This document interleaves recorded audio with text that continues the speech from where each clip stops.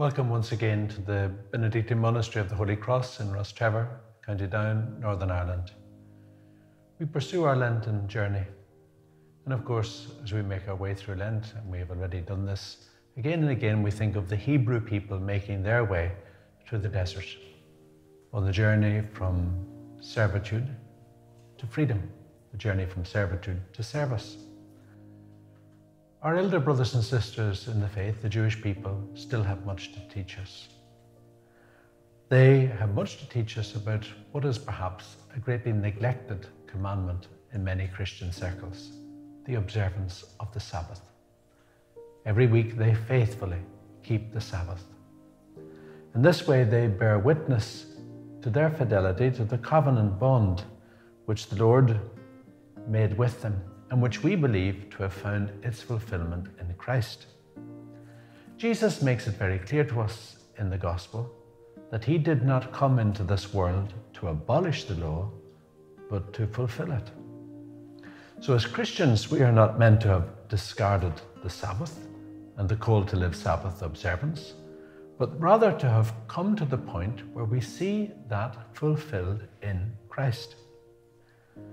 Might I suggest that a real challenge for many of us today is to understand how to live Sabbath observance and how to live it in a way that shows that we have come to see it as having found fulfillment in Christ. Yes, Sabbath in our Christian lives is vital. And there's a reason I'm saying this. Isaiah puts it this way Sabbath is to be observed so that we may find happiness in the Lord.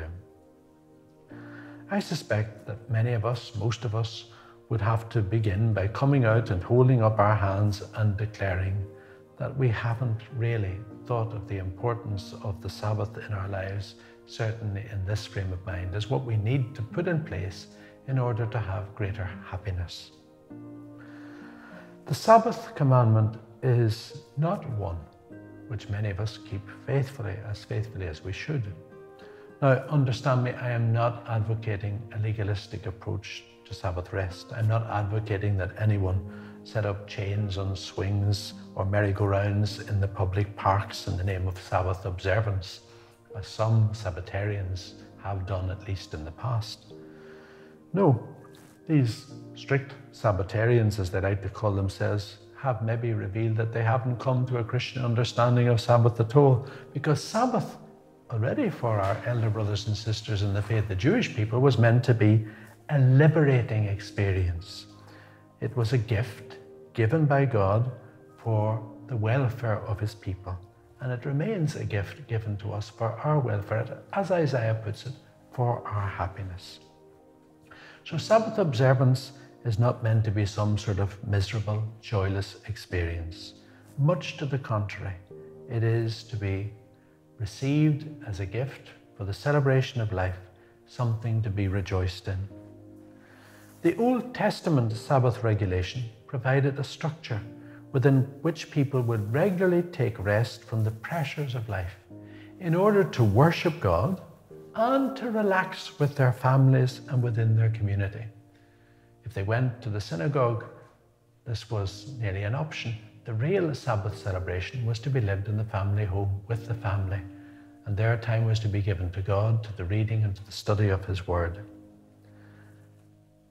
It's important for us to remember, and I've said this already, we are not to set aside this commandment. It's not just a possible option, something we can do. It is something we are told that we must do in order to be happy. I would want to stress this dimension of things.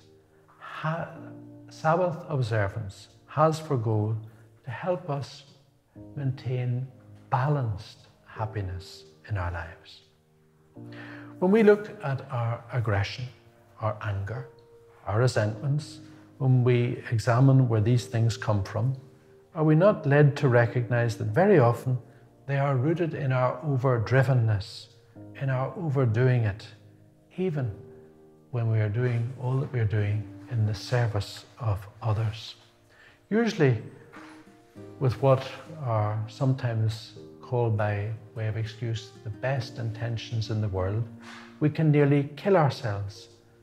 And when we do that, we end up destroying our relationships. At least we damage them and we impair them. We impair our relationship with ourselves and with others. Realization of this fact can be a sobering thought, a wake up call for us, and that's no bad thing. Sometimes we need to be sobered up in order to be drawn back from our workaholic tendencies. We can be workaholics. We need to be drawn back from our always overdoing it and drawn back from that temptation which is there in all of our hearts to excuse our overdrivenness by saying, but we're doing it all for the good of others. So much can be done for the care of others that is detrimental to ourselves. And when it is detrimental to ourselves, then it ends up by also being detrimental to others our spouse, our family, our community of life, our friendship relationships. For all these things are vital for our well being. And all these things depend upon that fundamental relationship for all of our lives, which is our relationship with God. Putting God first, putting God at the center, and seeing ourselves in His light, united with Him. I put God, relationship with God, and relationship to self on a parity, seeing them as a two pronged aspect of one relationship because when we're authentically related to God, we will be authentically related to ourselves. And when we are authentically related to ourselves, we will be authentically related to God. In this relationship, Sabbath rest has an important place. I suspect we all do find some Sabbath rest, even if we don't take one day off a week. That may be our family holiday. It could be the festival periods that punctuate the year.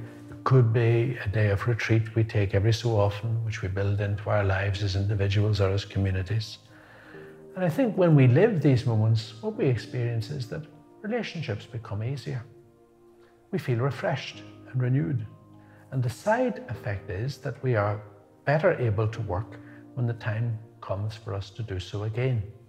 We find that we are more productive because we have been restored and re energized by our Sabbath rest.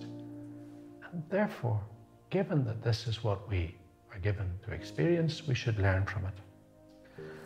What I'm saying is that we need to be put in, putting into place more than sporadic times of rest, if I can put it that way. We need to be striving to live regular moments of Sabbath rest.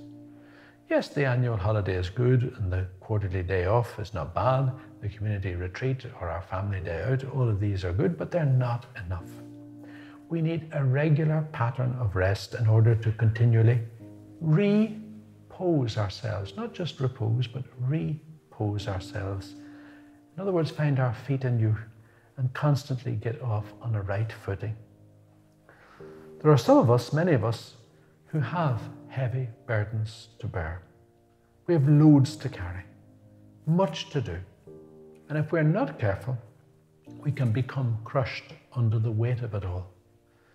We can do ourselves damage. We can go about like Atlas, weighed down with the weight of the world on our back. Saint Exupéry, in his insightful little work, Le Petit Prince, The Little Prince, gives another description for the same reality. He speaks of men like that, and we should include women, of course, in what I'm saying. They are like people carrying heavy burdens, not living human life to the full. He explains their existence to be like that of a mushroom.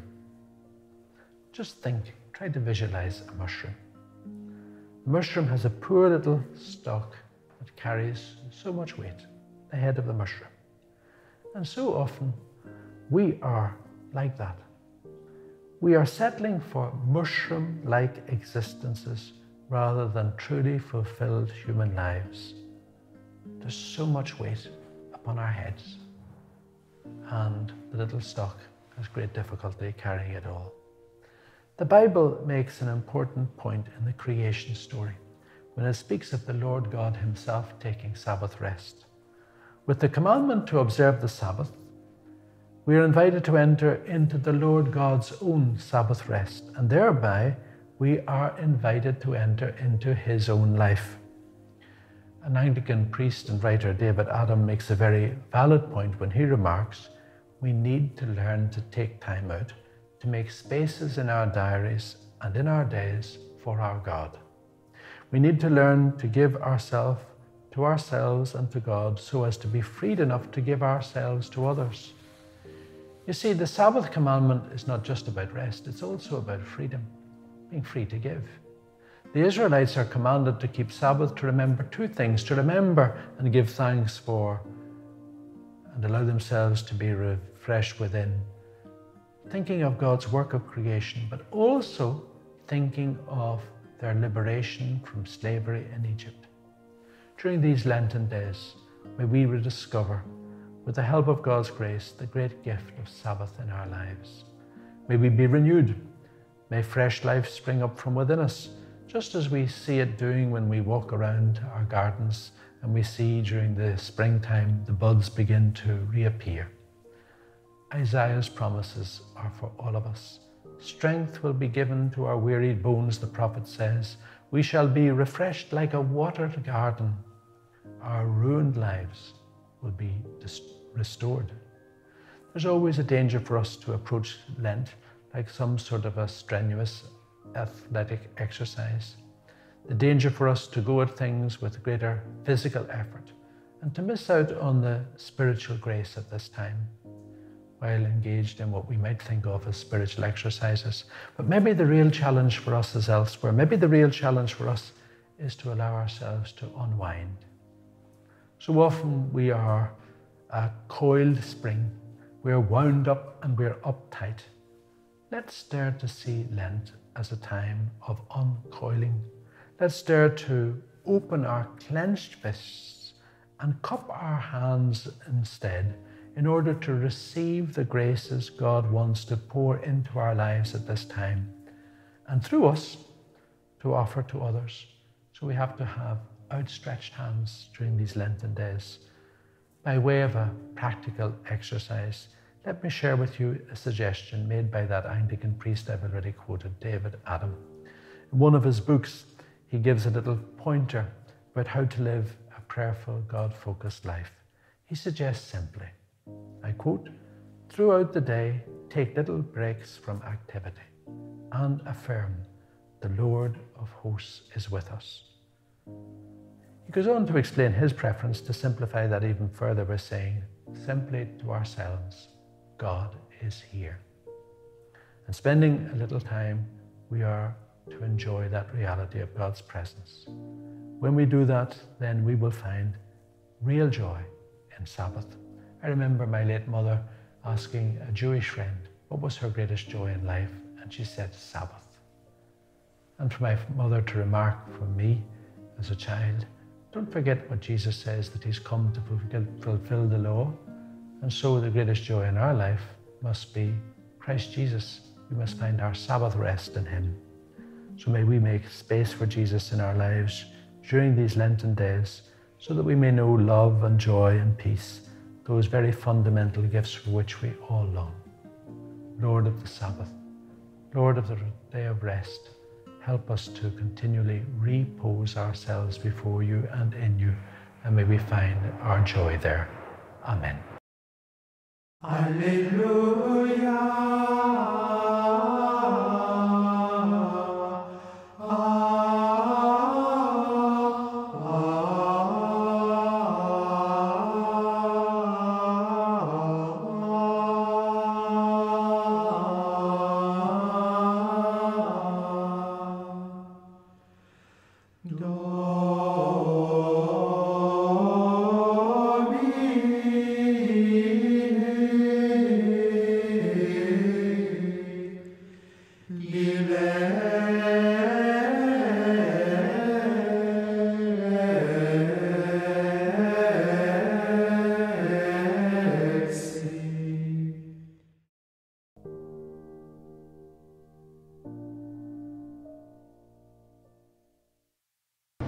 Live in a, a media age, of course, uh, an age in which we get almost all of our information either from television or from the internet. Probably less and less of our information is coming through the traditional print media. So, in that context, in today's world, uh, an undertaking like Shalom World is incredibly important. And uh, the efforts to catechize and to evangelize uh, through television and through the internet is incredibly important in the world today. And I'm happy to say that my experience is of Shalom has been entirely positive, and I am very happy to encourage everyone who's working as part of Shalom World in their efforts to bring the Catholic faith to the world around us. And also, I give my special blessing uh, on all those who are involved in Shalom, all those who are watching Shalom, and all the future viewers of Shalom. So, thank you, and God bless you.